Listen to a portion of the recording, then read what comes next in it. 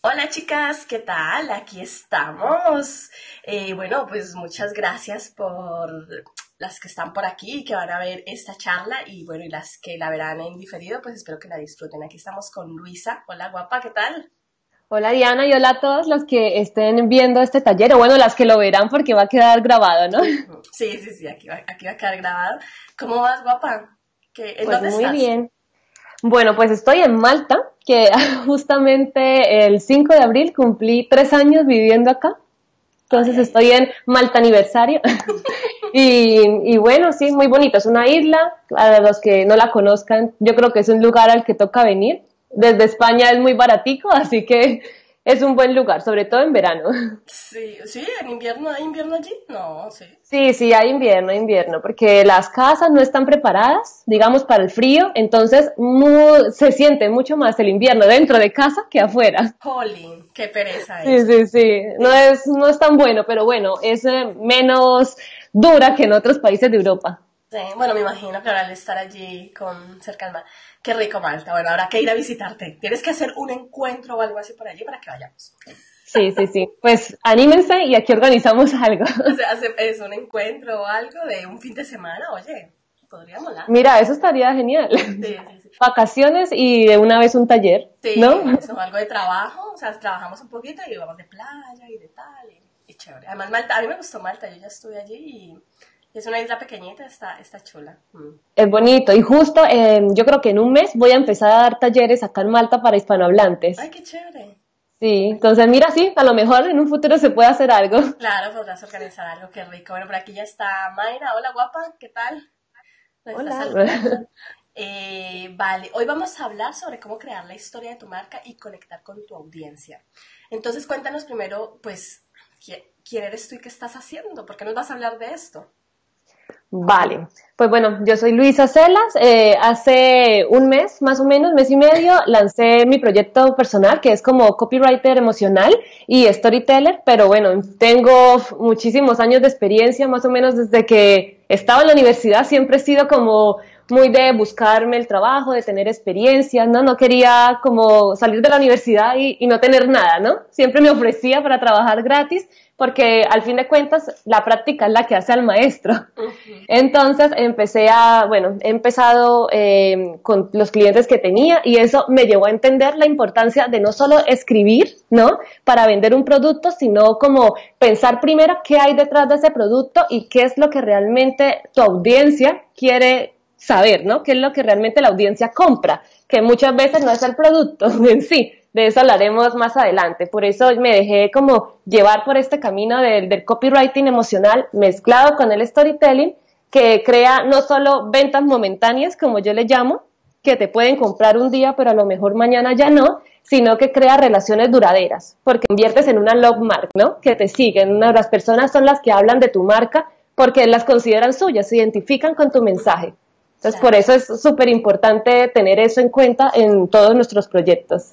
Qué bonito. Bueno, pues aquí, aquí estamos porque ya llegó Ana, Ale, que están saludando. Es que, claro, lo estamos haciendo por Skype y Luisa no puede ver las, los mensajes, o sea que le toca eh, transmitirlo. Igual si tienen preguntas, cuando ella vaya hablando y tal, si tienen preguntas las van dejando acá en los comentarios que cuando ella termine de exponer cada, cada punto, o bueno, como lo vayamos ejerciendo, eh, pues les vamos preguntando, ¿vale? Yo aquí las estoy viendo.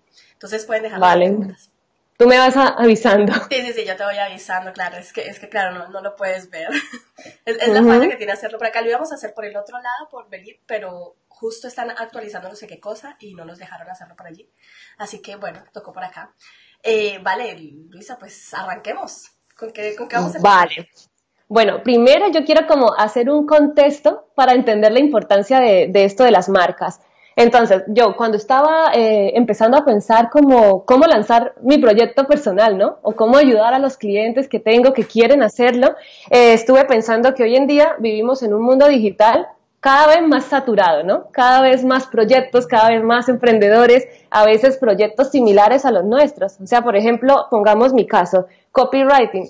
Copywriters hay por montón, ¿no? Hay muchísimos. Entonces, ¿qué es eso que nos ayuda a diferenciarnos de los demás? No ser solo como un proyecto más en una lista de, de mil, sino que tenga ese algo diferente que las personas se quieran interesar en leer. Porque obviamente para nosotros nuestro proyecto ya es especial, ¿no? Porque obviamente lo estamos diseñando, nosotros sabemos qué hay detrás, pero muchas veces es importante lograr transmitirlo a las personas. Y eso se hace a través de la historia que la historia no solamente es eso, porque a veces pensamos como historia y nos vamos a lo mejor a un cuento o algo así tipo Disney. No, pero cuando hablamos de historia de una marca, estamos hablando como del mensaje, de ese mensaje, de esa esencia, de cómo transmitir esa esencia y esa personalidad de tu marca de una forma clara. A veces el mensaje de marca es una frase o un eslogan como Coca-Cola, siente la felicidad, destapa la felicidad o como las cremas Dove, que no venden una crema, que venden eh, la casa de las mujeres reales. Y eso ya es una historia, porque con ese párrafo ya te estás dando cuenta como de qué va todo. ¿No? Entonces, esas cosas son muy importantes. Eh, quise poner para también para situarnos un poco en contexto, como esos casos de, marcas que están basadas en grandes historias.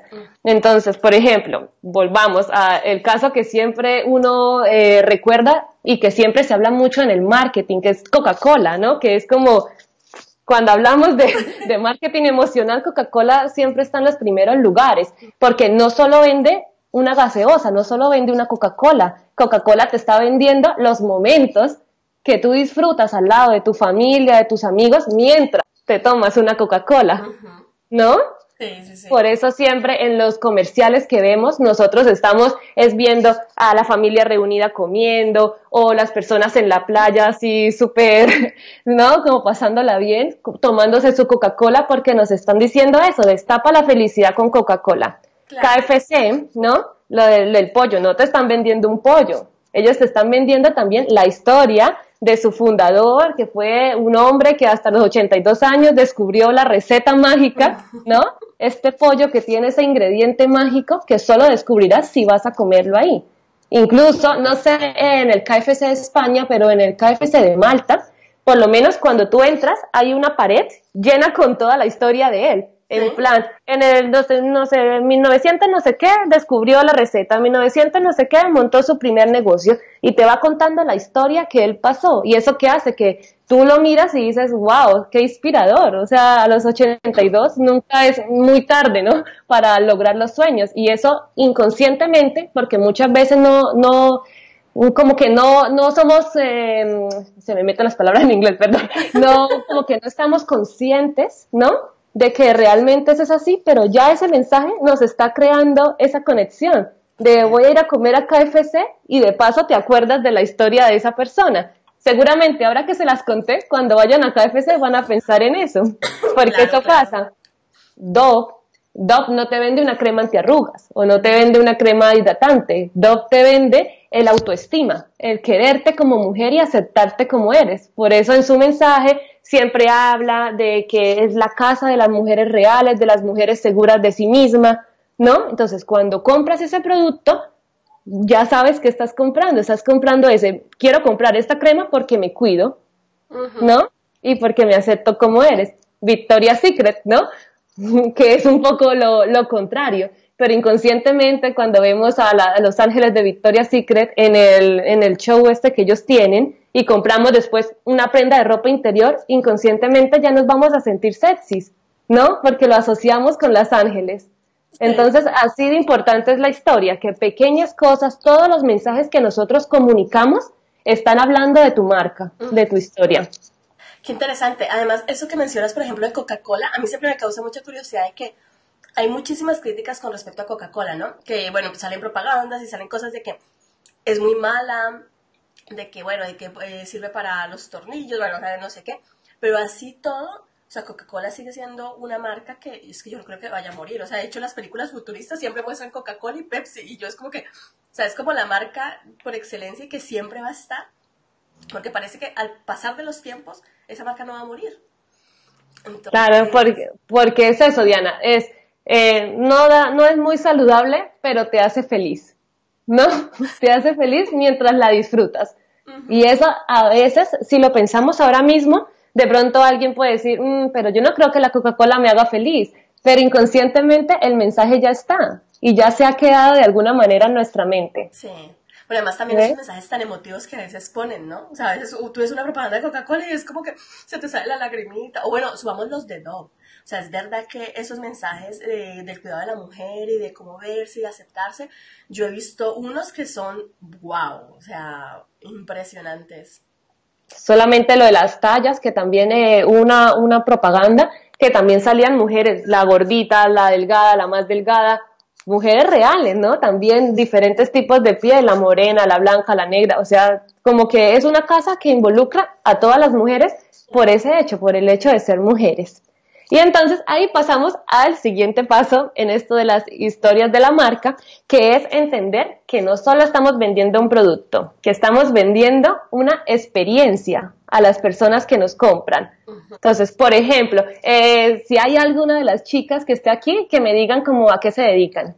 A ver, ¿quiénes están, chicas? Eh, Mayra por aquí ha dicho algo sobre el spa. Creo que Ale también había dicho, dejado un comentario sobre el spa para que luego lo miremos. Vale. A ver, chicas, ¿a qué se dedican? Cuéntenos. A ver si escriben. Sí, como para, para mirar, bueno, si alguien. Si no, pongamos un ejemplo eh, hipotético. Cuando, por ejemplo, tú, Diana, que te dedicas tanto a ayudar a, emprendedores, ¿no? Por ejemplo, di, un servicio a los que tú tengas, el de trabajar, por ejemplo. Mm, sí, bueno, sí, eh, o bueno, con el de la comunidad de aprendizaje. Tenemos una comunidad de aprendizaje para mm, para, mm, para emprendedores, donde la idea es que no olvidemos em, trabajar nuestro desarrollo personal, ¿no? O sea, nosotros tenemos la, la, idea de que cuando tú trabajas tu desarrollo personal y vas creciendo, tu negocio va creciendo también. Eso es más o menos.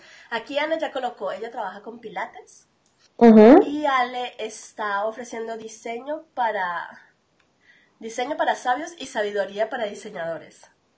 Ah, mira, qué bien. O sea, el proyecto es ese, ¿no? Sí, ella dice, hola, yo ofrezco diseño para sabios y sabiduría para diseñadores. Vale, pero diseño web o algo así? Eh, diseño, em, diseño gráfico. Diseño gráfico. Eh, vale. nos dice que en este momento se está definiendo su voz e historia para desarrollar mi marca personal.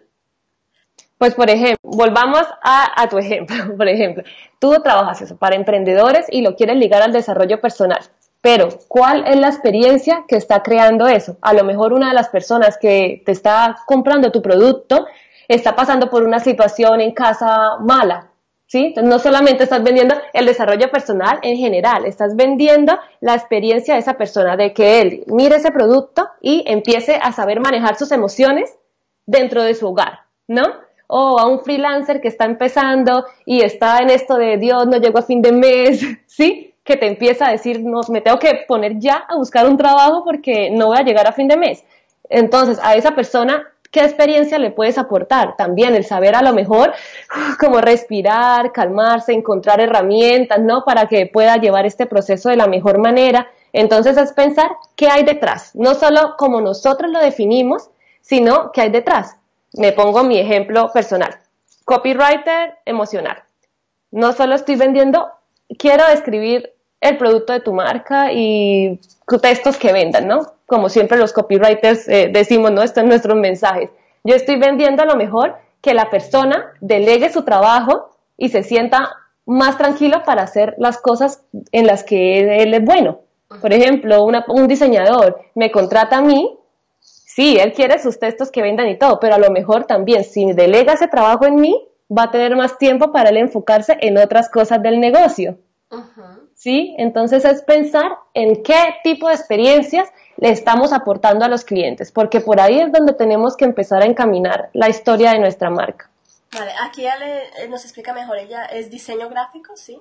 Dice consultoría de diseño y coaching para el desarrollo personal y profesional de los diseñadores. De los diseñadores. Sí, la pues bueno. de diseño es dirigida a terapeutas. Ajá a terapeutas. Pues entonces, Ale, a preguntarte eso, ¿cómo es el perfil de la persona que consume tus servicios? Tú eres diseñadora, me imagino, entonces uno conoce cómo es las personas que conforman, que hacen parte de nuestro nicho.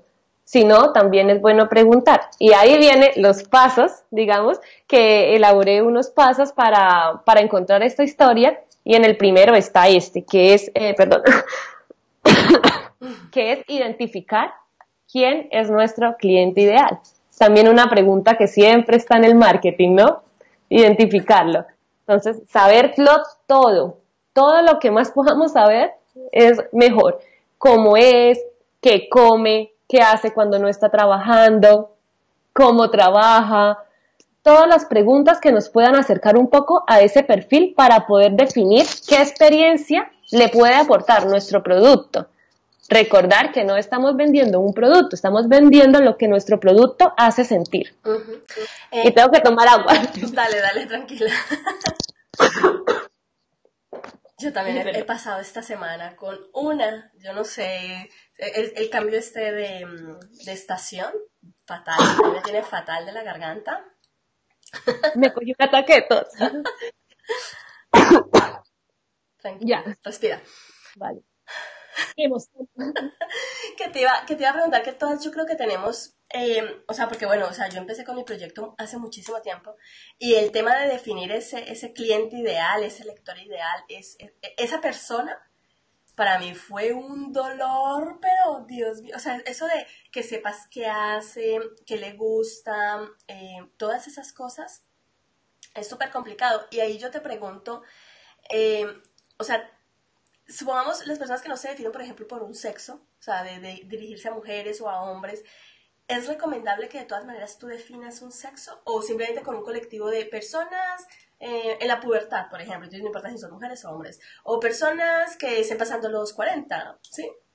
O... Pues yo creo, no sé, como que en eso puedes definirlo como de manera que tu producto también se encaminará a otro tipo de personas, en caso a, sí, pubertad, pero también a personas que no tienen un sexo definido. Ya depende del tipo de servicio que ofrezcas. También tienes que tener claro qué, qué tipo, cuál es tu servicio y cómo puedes hacerlo llegar a ese tipo de personas. Porque claro, siempre queremos poner, por ejemplo, a todos en el mismo saco, ¿no? Ofrecemos esto y este es nuestro cliente ideal. Pero justo en un, en, eh, un podcast que va a salir el lunes, eh, la persona me decía, cuando vendes comida para perros, por ejemplo, hay diferentes tipos de dueños de perros, ¿no? Está el dueño de perro que solo le importa eh, que el perro sobreviva y está el dueño de perro que lo tiene como un hijo, que le tiene su cuarto, que le tiene ropa, ¿sí? Entonces, a veces el mismo producto puede ofrecer, ¿sabes? Como un mensaje para cada tipo de cliente. Pero ya es la manera en la que expones tu servicio. A lo mejor diferentes, crear dos tipos de servicio y que un servicio esté definido para una persona y el otro servicio esté definido para otra. Lo que no se puede hacer es un mismo servicio para todo el mundo. Vale. A lo mejor es que tú misma en tu, en tu página de servicios, eso crees como em, servicio 1, servicio 2, servicio 3. Pues el servicio 1 para este tipo de personas, servicio 2 para este otro. Genial. ¿Mm? Pero teniéndolo en claro. ¿Cómo podemos llegar a ese cliente ideal? Pues muchas veces tenemos personas a nuestro alrededor que hacen parte de nuestro nicho. Tienes una amiga que pase por eso, escúchala. Hablar con gente es lo mejor que podemos hacer para entender a las personas. Métete a mil grupos de Facebook que hay hoy en día y mira qué hablan las personas, qué preguntas hacen, ¿sí? qué les atemoriza, porque todos tenemos miedos y todas nuestras decisiones de compra inconscientemente nuestro cerebro reptil siempre está ahí, entonces siempre compramos por su supervivencia, ¿no? Una casa, sí, compramos la casa, pero compramos el tener un techo donde vivir, ¿no? La comida, no morirnos de hambre, un eh, abrigo, eh, protegernos del frío, siempre estamos comprando cosas por producto de, por supervivencia y por miedo. Entonces, por eso es tan importante que nuestro mensaje defina qué es eso que la persona va a conseguir, qué es esa experiencia que va a empezar a vivir con nosotros. Bien, perfecto. Sigue con los pasos, a ver. Vale, pues una vez está identificado esto, nuestro cliente ideal, tenemos que empezar a identificar el tono y la personalidad de nuestra marca, que es el proceso en el que va una de las chicas, ¿no? Que está escuchándonos ahora, que es muy difícil a veces, cómo nos comunicamos hacia los demás, ¿no? Porque de eso depende mucho la percepción que todos van a tener también de nuestro propio proyecto. Y después de eso ya es empezar a definir un poco, ay Dios, está todo. Por aquí Caro nos dice que tomemos jengibre. Dios, me va a tocar. Yo estoy tomando jengibre con limón y miel. Perdón, otra vez. Ayer mi mamá me mandó a tomar eh, cebolla caramelizada. Cebolla caramelizada. además, cebolla roja. Eh, sí, de la morada, perdón. Vale. Pero sabe rico, o sea, sabe como dulce. Porque claro, como tiene miel, un montón de miel leche. me va a tocar cuando termine. está muy bien, además te sirve mucho para, para toda la, la, la, esta de la garganta y la flema y esto. Uf, está genial. Y a mí me encantan mucho los medicamentos naturales. Vale, Diana. Entonces, cuando tenemos esto definido, ya entramos a la historia de la marca. Que para los que no dicen como no sé por dónde empezar, podemos empezar con dos tipos de historia. La nuestra, primero, ¿no? Nuestra propia historia, porque ¿quién mejor que nosotros para lograr transmitir eso? So, tú tendrás, ¿cómo estabas tú al momento de empezar a tener esta idea en mente? ¿Cuál era tu situación? ¿Por qué nació este proyecto y no otro? ¿Por qué consideras que tú eres la mejor para poder llevar ese servicio a las personas? Entonces, ponernos en primer lugar, ojo aquí, el primer lugar para la historia, ¿no? Porque siempre el primer lugar es nuestro cliente, él es el protagonista de nuestra historia. Pero nosotros, como vamos a ser sus mentores, porque cuando vendemos algo somos los mentores de nuestro cliente. Entonces también tenemos que presentarnos y lograr reforzar el por qué ellos tienen que confiar en nosotros y por qué nosotros somos los adecuados para que ellos lo hagan. Entonces aquí un ejercicio que todos pueden hacer es tomar un papel y empezar a acordarse de cuándo nació este proyecto, por qué nació, cómo te sentías tú cuando lo estabas haciendo, tenías miedo, a lo mejor tenías los mismos miedos que sabes que tienen las personas que van a entrar en tu página.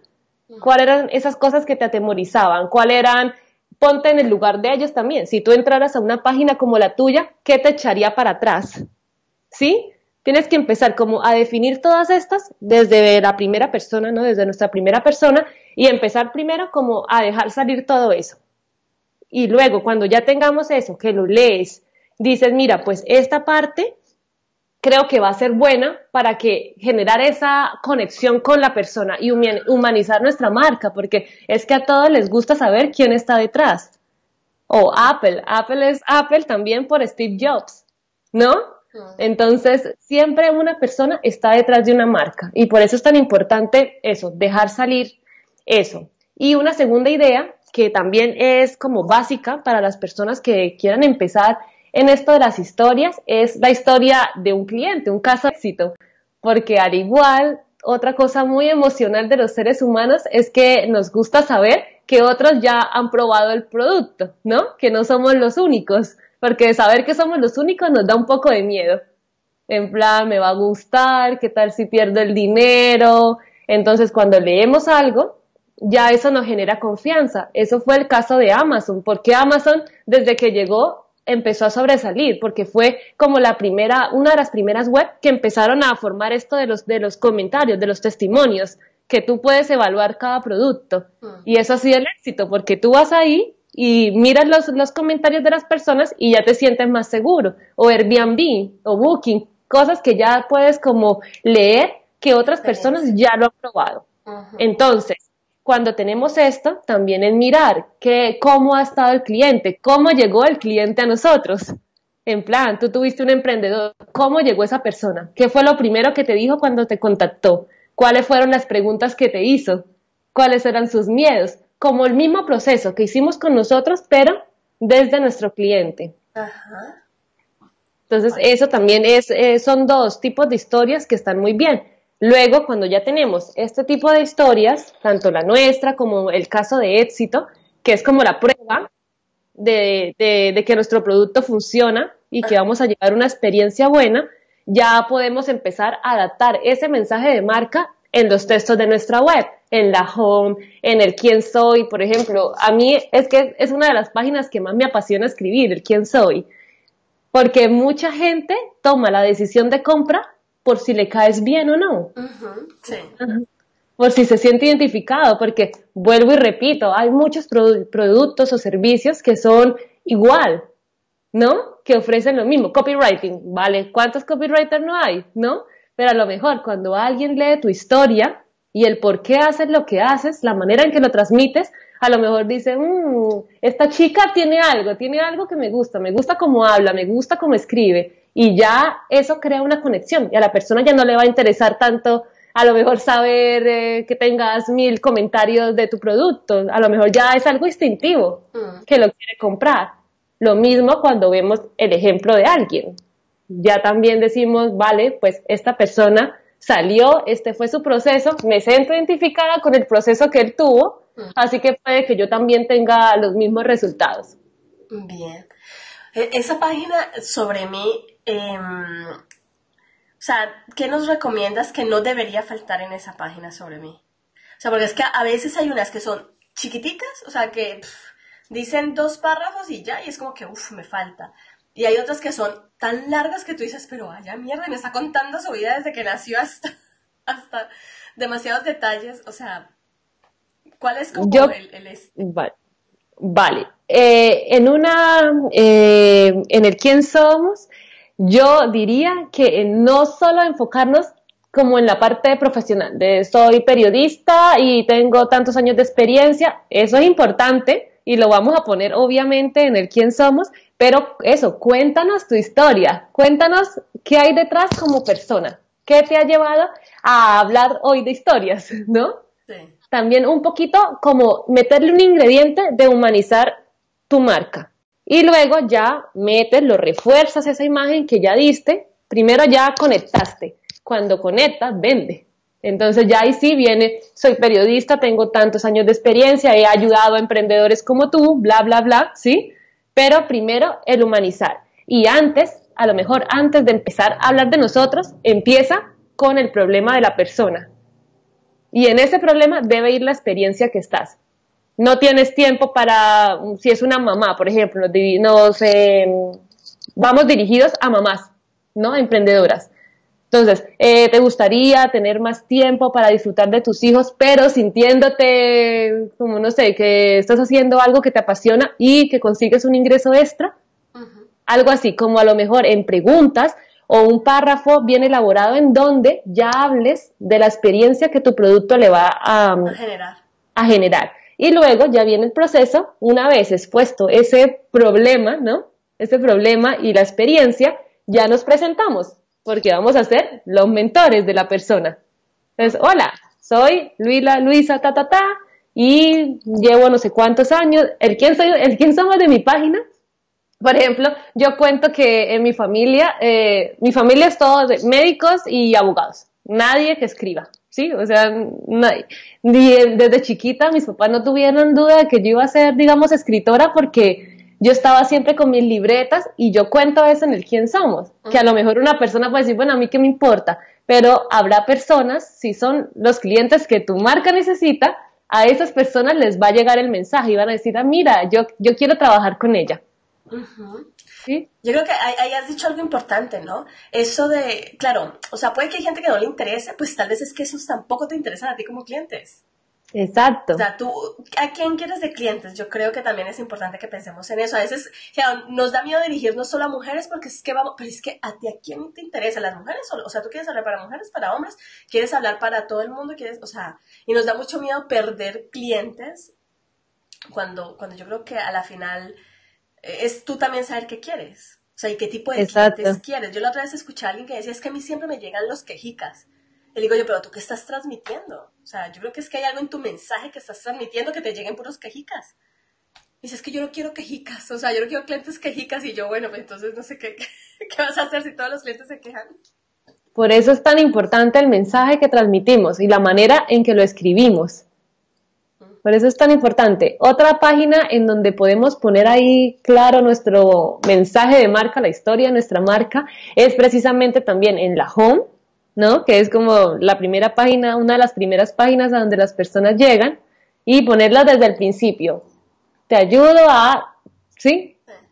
A lo que, lo que vas a hacer. Pero eso, transmitiendo siempre lo mismo, vuelvo y repito, es que es una de mis frases favoritas que no es lo que vendes, es lo que tu producto hace sentir. ¿Qué va a sentir la persona cuando tenga tu producto? Entonces eso, una crema antiarrugas. No estoy comprando una crema antiarrugas, estoy comprando mi deseo de ser más joven. ¿Sí? Entonces eso tiene que estar claro en tu mensaje de marca. Por aquí Gaby, Gaby, nos está escribiendo, no sé dónde está Gaby ahora, que anda viajando por aquí también, y nos dice que, mm, que hay que contar un poco nuestra historia y con eso las personas empatizan a la final, sí.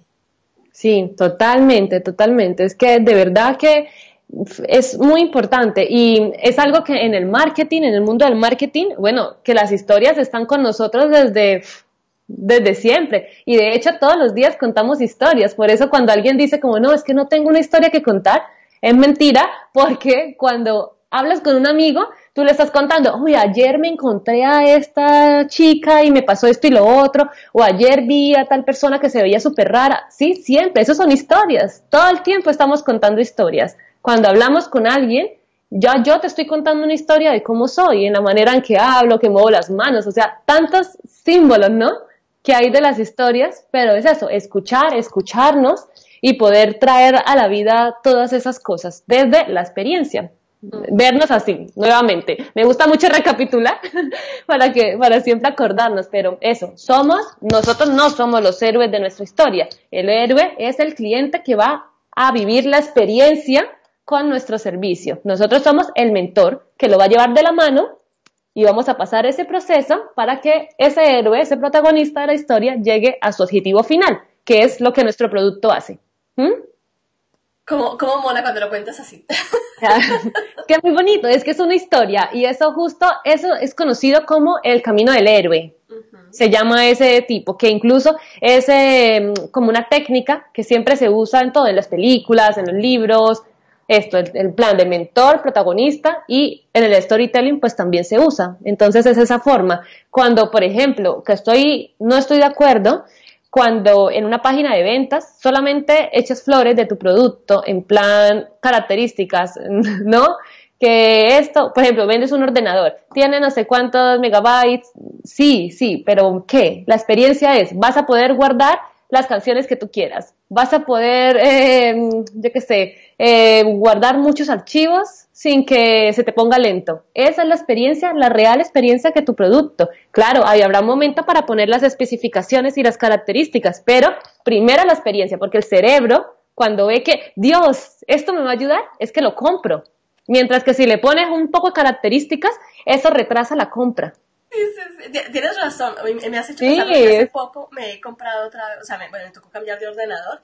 Y yo lo que hacía era preguntar a la gente qué experiencia tenía con los equipos que tenía, porque claro, yo me metía a Apple y a, y a Dell y a todas estas marcas, a Samsung y todo, y claro, y, solamente leía características. Y yo, pero es que yo, o sea, a mí, o sea, tú me dices que tiene tantas gigas y yo no sé cuántos son tantas, o sea, yo no sé si esas gigas son suficientes para mí. O sea, yo no tengo ni idea de, de proporción, ¿no? Pero si yo te pregunto, tío, ¿qué equipo usas? Y, y, ¿Y cuál ha sido tu experiencia? ¿Ha sido buena? ¿Se te pone lento? O sea, como que... Eh, a la final, y a la final dije yo, mira, ¿sabes que He tenido buena experiencia con Apple, me quedo con el puto Claro, incluso... Incluso, mira, cuando sacaron el, el, em, el primer iPad, me acuerdo, de, de, Apple, no sé, que el mensaje de marca fue eh, 10.000 canciones en tu bolsillo. ¿Sí me entiendes? Él no dijo, este dispositivo, ¿no? Tiene tantos gigas. No, él dijo, vas a poder meter tantas canciones en tu bolsillo. Ya está. Si a ti te gusta la música, tú, dices, tú dirías, me lo compro ya. Claro, ¿no? Es también como lo vende Amazon el Kindle. O sea, Kindle él lo vende por la capacidad que tiene para tú llevar allí no sé cuántos libros. Y tú dices, mierda, pero es que si yo cuando viajo, viajo con cinco libros de este tamaño, pues claro que yo quiero un Kindle donde puedo meter 10.000 libros y, estoy regia. Pues ves, Diana, el poder de la marca, de la historia de una marca, que a lo mejor eso, lo primero que se nos viene a la mente es una historia, ¿para qué necesito una historia? Pero ves que las grandes marcas tienen historia. Historia puede ser eso, un eslogan, una frase, la manera en que te presentas. Es que es muy, muy importante, muy importante, porque para diferenciarnos tiene que haber eso algo, ese algo, pum, claro, no hay el tres ojos ahí donde no has dicho nada, no, algo claro. Vale. ¿Y ya terminamos los pasos? Sí, esos son, esos son, esto es algo muy básico porque, claro, si fuera, si habláramos más, pues llevaríamos mucho más tiempo, pero para un primer paso, que era como el objetivo de, de este taller, era el adentrarnos a conocer la importancia de las historias, que ya la estamos viendo, ¿no? A través también de todos estos ejemplos que les he colocado, Y los primeros pasos, identificar quién es nuestro cliente, definir el tono, cómo queremos que nos perciban y empezar a escribir. Y empezar a escribir es primero dejar salir todas esas emociones que nosotros también tenemos con respecto a nuestro producto, como dije, y empezar a escribir las emociones que los que nos llegan, a nuestros clientes, también tienen cuando empiezan a, a, comprarnos, con el caso de éxito que dije, y reconocernos, no como yo soy mi proyecto, sí, tú eres mi proyecto, pero nuestro proyecto es nuestro cliente, ¿no? Somos sus mentores. Entonces son pasos que básicos que a todos, si lo hacen la tarea bien, que ya tienen todas la tarea eh, y se ponen a escribir, es que van a encontrar cosas valiosísimas con respecto a su marca. Entonces, no solo vendan el producto, vender el producto, pero vende la experiencia. Ese es como el, el, objetivo más grande que yo tengo y como con lo que los quiero dejar hoy, como eso, ¿qué experiencia estamos vendiendo a las personas? Genial. Bueno, pues a, mí me encanta, o sea, me ha encantado y bueno, nos ha dejado una tarea. Yo creo que podríamos hacer un reto con esto de, de, de, de, hacer nuestras historias y ver cómo nos, o sea, cómo la estamos vendiendo, o sea, cómo la estamos, cómo estamos transmitiendo el mensaje y hacer eh, un poco lo que ha hecho, que me gustó mucho, eh, Laia en su grupo de Pinterest ha hecho un reto esta semana de, de, que compartamos los pines y cada una da una opinión sobre, sobre qué le parece y tal. Entonces, si les llama la atención, podríamos hacer algo parecido con esto y entre todas darnos feedback de, oye, pues yo no entiendo tu historia o yo no sé qué estás, ¿sí? O sea, cada una desde, desde nuestra experiencia y, y Luis ahí con un poco más eh, técnico, eh, de pronto también nos puede ayudar así. Entonces, si les llama la atención, me colocan aquí y creo allí el, el, reto, que ya saben que, bueno, que a mí me gusta mucho poner como retos de, de, tareas para hacer. A mí me parece genial y es una oportunidad eso, porque a lo mejor en este grupo hay personas de nuestro nicho, ¿no? De lo, del nicho que nos interesa para nuestro producto. Así que, qué mejor que conocer la reacción que tienen esas personas sobre nuestro mensaje y si lo estamos enfocando bien. Hay un libro que tengo acá que quería recomendarles. Bueno, es en inglés, pero se puede conseguir en español, que se llama como Historias para el Trabajo. ¿Mm? Y en este libro es muy interesante porque eh, es como un storytelling básico y te van guiando eso, a los tipos de historia que puedes escribir, porque hay más. Yo les di dos porque no quiero liarlos como con tantas cosas y creo que esos dos funcionan muy bien para empezar, pero luego hay muchos más tipos de historia que puedes contar. Incluso me acabo de acordar que hay un ejemplo de, cómo impactan las historias de marca, que también en la política, por ejemplo, que no solo es en el mundo del marketing, que otra persona eh, como muy conocida por este tema es Barack Obama, ¿no? Cuando él se lanzó a, a, la presidencia, él no solo habló de yo he hecho esto, esto en tal universidad y vengo a salvar a Estados Unidos, no, él contó yo vengo de una familia pobre, de una mamá trabajadora, ¿sí? te contó eso que a lo mejor hay personas que también se criaron en una situación eh, de no solvencia económica o con una mamá soltera o lo que sea, y eso ya te, te involucra, te involucra sentimentalmente. Es algo que, que, no podemos controlar porque somos humanos, somos emociones. Los seres humanos somos emociones. Entonces ya eso te conecta y ya muchas personas ya obviamente se sentían identificados con él. Claro que sí. Eh, Ale nos pregunta que cuál es el autor del libro. Ah, ya te lo digo. Gabriel Dolan. Yo lo puedo dejar ahí, lo puedo escribir en el... En, el, en los comentarios, sí. En los comentarios. Y eso, y no, cuando alguien necesite un consejo de storytelling o de copywriting emocional, pues que es mi especialidad, con gusto. Aquí estamos todas para ayudarnos y para poder aprender un poco de la especialidad de cada una. claro que sí, bueno, además que lo que tú dices, también leyendo otras historias también te puede, te puede ayudar mucho cuando tienes tantas dudas de por dónde arrancar y tal. Eh, yo por aquí tenía un libro, no sé si lo regalé, eh, sobre, sobre mm, gente que ha sido muy famosa, supongamos la historia de, del de Facebook, la historia del el que creó Google, o sea, de, de, personas así de, mm, del marketing y esto como sus pequeñas historias y hay muchas historias. Yo recuerdo, somos, ah, bueno, nosotras somos colombianas, eh, Luisa también es colombiana. Yo me, yo me acuerdo la historia de Cresa Waffle. Agua, Sí, sí, sí, sí. La historia de ellos, que también es súper motivadora. Y, y, yo recuerdo que la vi en una, en una clase también. Em, que ellos, o sea, ellos son, es un restaurante en Colombia, una cadena muy, muy importante de, de, de comida. En Madrid hay uno o dos, creo que hay dos ya ahorita En Madrid. ¿Sí? Sí, sí, sí. Hay uno, porque yo recuerdo haber ido uno a las afueras de Madrid y recuerdo que eh, hace como dos años que estuve en Madrid lo vi eh, más por la zona esta latina.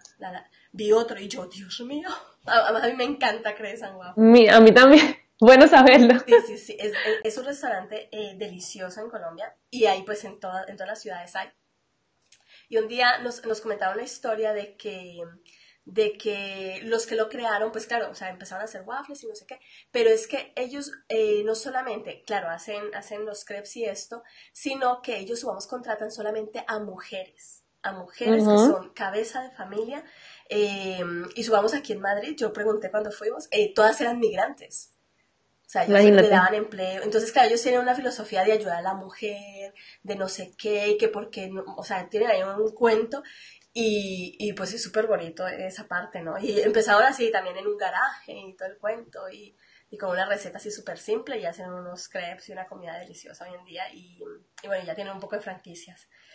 Y también es súper interesante. Ale por aquí dice, The Elemental de Ken Robinson también es muy bueno para historias motivadoras. Ah, mira, un libro. Pues mira, muy bien. Sí, las que hayan leído cosas. Y mira, Diana, antes de terminar, porque justo tengo, abrí aquí la página y quiero leerles como eh, cómo hace el mensaje de marca Dove. es que soy muy fan de, del mensaje de marca de esta casa. Yo ya no voy a volver a ver esa marca igual. Mira, por ejemplo, dice, bienvenida Dove, la casa de la belleza real. Durante más de una década hemos estado trabajando para hacer que la belleza sea una fuente de confianza, no de ansiedad. Y es aquí donde el viaje continúa. La belleza no se define ni por la forma, ni por el tamaño, ni el color es sentir la mejor visión de ti auténtica, única y real. Es por esto que nos hemos asegurado que nuestra página lo refleje. Todo lo que estés buscando, ya sean productos para el cuidado de la piel como consejos y trucos, todo lo, que encuentres en esta página ha sido diseñado para hacerte sentir guapa. ¿Ves cómo empieza primero con la experiencia que le quiere llevar a la persona? Eres guapa, eres, quiere mujeres seguras de sí misma y luego ya te vende. Lo que encuentres en esta página te va a hacer sentir más guapa pero primero te trasladó, ¿no? Te hizo pensar o a que no sentimos así como una emoción cuando estaba leyendo ese en plan, sí, las mujeres, ¿no? Somos seguras, somos reales. Te llevó a sentir esa emoción primero para luego venderte el producto. Así que seguramente alguna de aquí quedará diciendo, mmm, voy a echarle un vistazo a dos. ¿Ves? Y eso es el poder. no me jodas. O sea, eso es un párrafo. Es que no, no, con historias que no estamos diciendo aquí, hazme una Biblia. No, es que lo que te digo, puede ir desde siente la, desde destapa la felicidad de Coca-Cola hasta dos parrafitos como Dove. Bueno, Ana nos pregunta que, para empezar a contar historias, ¿qué recomiendas? ¿Escribirlas en un post, hacer un video y contar toda la historia en un día o ir haciéndolo poco a poco? Bueno, por ejemplo, eso depende la estrategia que cada una tenga. Yo, imprescindible, en tu página web, en el quién soy, sí o sí, tiene que ir tu historia. Ese es el momento para conectar y humanizar tu marca. Entonces, ¿quién soy? Súper bien. Si tienes un canal de YouTube, genial también que en la introducción trates de resumir eso y lo hagas como en el video de presentación, por ejemplo, eso. Luego, en el storytelling, me va a empezar la tos otra vez en breve, en el storytelling eh, es en los posts también se puede implementar. No empieces un post a lo mejor directamente al grano, perdón, chicas. no empezar directamente al grano como eh, hoy te voy a hablar de cinco consejos para estar más delgada. No, empiezas con una historia tuya, por ejemplo, como hace unos años eh, me encontraba comiendo con mucha ansiedad, no sé qué, no sé qué. Por eso pensé que hoy quiero compartir contigo cómo darte unos consejos para ser más guapa. Esos son pequeños consejos para implementar el storytelling y este mensaje de marca en nuestros textos. En todo lo podemos hacer, en todo lo que quieras. En las newsletters que alguien había puesto también, eh, creo que ya no, había puesto un mensaje, pues eso es una buena oportunidad. En cada newsletter que envía, involucra tu historia. ¿Sí? Pero obviamente que se relacione al tema que vas a hablar, porque lo que no podemos hacer es escribir ahí la historia y luego que eso no tenga que ver nada ni con nuestro objetivo ni con el tema que estamos hablando.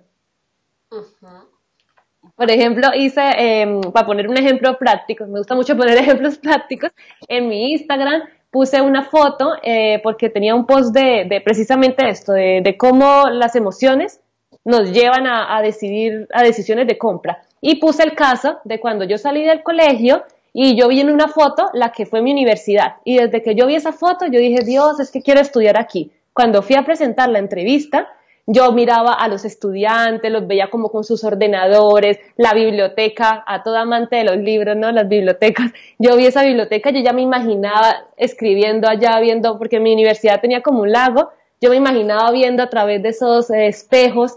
Entonces yo empecé a contar en mi post de Instagram esa historia y luego dije, por eso es importante las emociones, ¿no? Ya lo, uní a cómo impactan esas emociones nuestra decisión de compra. ¿Cómo impactó eso que yo sentí cuando vi mi universidad en la foto y cuando fui a, hacer la entrevista? ¿Cómo eso afectó a que yo dijera, es que voy a estudiar aquí porque no quiero ver, no quiero presentarme en ninguna universidad más porque esta va a ser mi universidad? Entonces, esa es una forma de que para enviar posts o newsletters, involucra tu historia y luego la unes con el objetivo del post. Uy, chicas, tenemos mucho trabajo. Yo creo que por hoy, yo creo que ya mucha información. Tenemos muchas cositas que hacer. Claro, está súper interesante. Yo hace poco, eh, a mí me gusta mucho leer recetas. O sea, ahorita que estoy cocinando mucho en casa y tal, y me gusta buscar, yo busco recetas, ¿no? Y a veces me gustan esas recetas de un minuto que tú ves los ingredientes, ya sabes cómo se unen, no sé qué, chono, y lo haces. Pero hay días en que estoy como con ganas de saber más y hay blogs que te cuentan una historia antes de contarte la receta, ¿no? Entonces te cuenta una historia suya, ¿no? De, bueno, yo estaba con mi abuela y bla, bla, bla, y entonces ella me enseñó a hacer el arroz con leche, y es como que, ay, no me cuentes tu historia, cuéntame cómo hacer el arroz con leche. Pero hay momentos en que esa historia también hace que conectes, porque tú dices, ah, yo me acuerdo cuando de verdad me tomaba un arroz con leche con mi abuela y tal. O Diana, o en el futuro, cuando ya se te pasaron dos meses y luego piensas en la, en la hacerte un arroz con leche, se te va a venir la imagen, la historia de la abuelita de las niñas.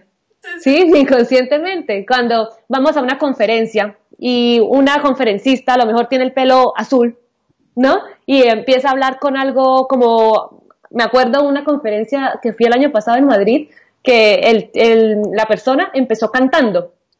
Eso ya era un mensaje. Y yo me, me he olvidado de varios conferencistas, pero de él no. ¿Ves? Porque también crean recuerdos. Y eso es lo que hace esa persona, lo que hizo con su historia de su abuelita, es crear inconscientemente un recuerdo en ti. A lo mejor un día que estás pensando en otra cosa, decir, ay, mira, me acordé de la, de la receta esta. Y a lo mejor no te acuerdas de una receta más concreta. Sí, sí, sí. Sí, tiende a ser igual. Somos las, las, eh, los olores, ¿no? O sea, los sentidos, lo que tú dices, ¿no? Los sentidos. Eh, a mí me pasa que a veces eh, me pasa mucho, y hace poco me pasó con un con uno de estos limpiadores, entré a un sitio y me olía a, ese, a ese aroma de, del limpiador, ¿no? Y me recordó unas vacaciones cuando era pequeña en Cali y yo, vaya, o sea, o sea el, olor floral, no sé, una cosa ahí, pero me transportó totalmente y yo, ¡uh, qué, qué fuerte, ¿no? Todo, es que, mira, por ejemplo, también hay personas que crean eh, marketing emocional, ¿no? Que es, que es todo lo que, lo que reúne todas estas disciplinas, storytelling, bla, eh, hay gente, negocios, que pagan para fabricar un olor. Sara, ¿tú sabías que Sara tiene un olor? Mm, Sara tiene un olor. Todos los Saras tienen un olor. Inconscientemente tú no lo sabes, pero esa es esa característica que tú entras a un site y sabes que estás ahí. Otros muchos lugares. Starbucks también tiene su olor, por ejemplo. ¿Ves? Y no lo sabemos, pero todas esas cosas impactan emocionalmente en nosotros. Somos emocionales. Así digamos que lógicos somos emocionales. Yo la otra vez le leía un post a este Alejandro Novas que estaba contando, o sea, de un lugar porque que él pasaba pues muchas veces por allí y él decía, yo siempre que paso por allá tengo que entrar. Y es que es algo, o sea, es algo que, que sale de esa tienda de no sé qué, es un, sí, o sea, un, un, aroma, un no sé qué, y yo siempre entro. Entonces, estaba hablando yo creo que de eso que tú mencionas, ¿no? De, de, de o sea, de esos olores que, que fabrican para la marca que, mm, que, te hacen recordarle, que hacen que cuando pases o esto, pues quieras entrar y, consumir o, lo que sea. Pero lo que pasa con las panaderías, ¿no?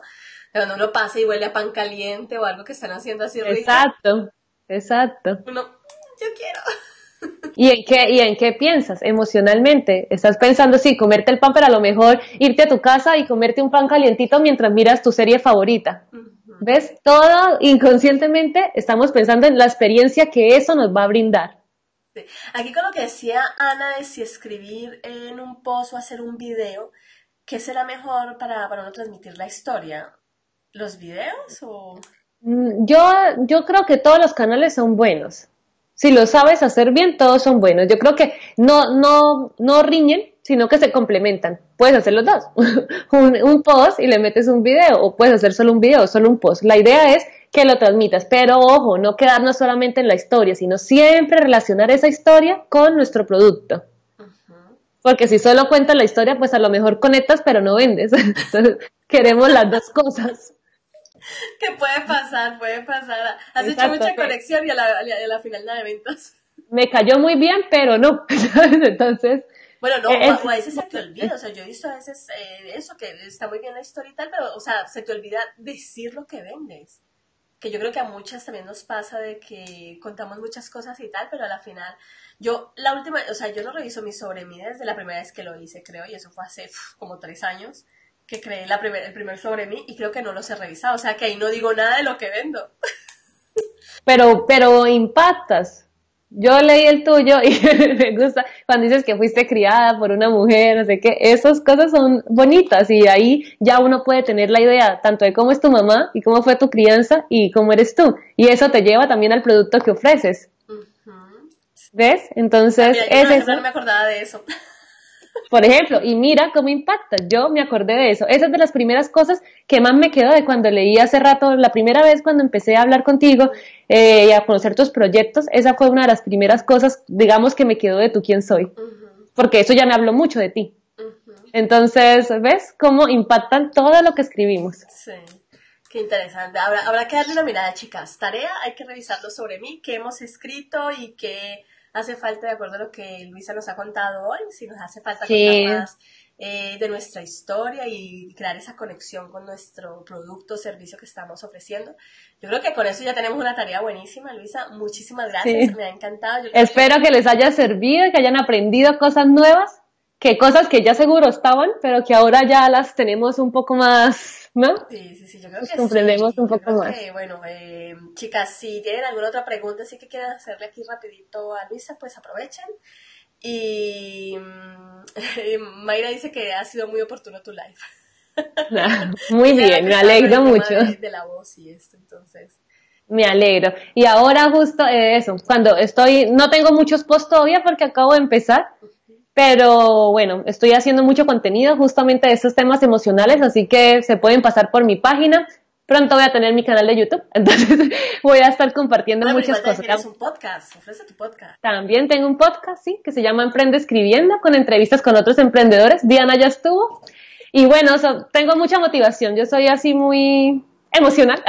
Por eso yo creo que me dedico a esto, porque sí, me gusta mucho conectar y, de verdad es algo que me apasiona, yo creo que se me nota cuando hablo. Eh, y nada, me encanta eso, ayudar y si alguna tiene una pregunta con copywriting emocional y storytelling, encantada de poder ayudarles. Genial, guapa, pues bueno, eh, ahí tenemos la tarea, chicas, eh, la que quiera hacerla, pues comenta y hacemos alguna especie de reto o algo para para ayudar, sobre todo para motivarnos, porque claro, aquí tenemos la tarea de mirar, no sé, pero, ay, mañana, ay, pasado mañana, ay, la, la, otra, semana, y nos vamos eh, alargando, entonces, pues nada, nos no lo ponemos como reto y nos vamos impulsando entre todas, porque yo creo que es una tarea muy chula de hacer y, y bueno, y, construir algo, algo bien bonito y que, y que nos identifique. Y pues nada, Irune dice que, que muchas gracias por todo, que pues que acaba de llegar, o sea, llegó un poco tarde, entonces que luego lo ve todo vale, genial. Raquel también te dice que muchas gracias. Ale también que muchas gracias que por, por compartir tu conocimiento y entusiasmo. Muy bien. Eh, ella dice, uy, nos toca todo un reto eh, eh, revisarlo sobre mí. Vamos a revisarlo, vamos a revisarlo. Siempre se puede mirar y descubrir cosas nuevas en nuestra propia historia, así que hacerlo. Claro que sí. Pues nada, guapa, muchísimas gracias. bueno, gracias a ustedes por el tiempo. Nos estamos viendo. Un abracito y gracias por estar aquí. Chao. Bueno, chao.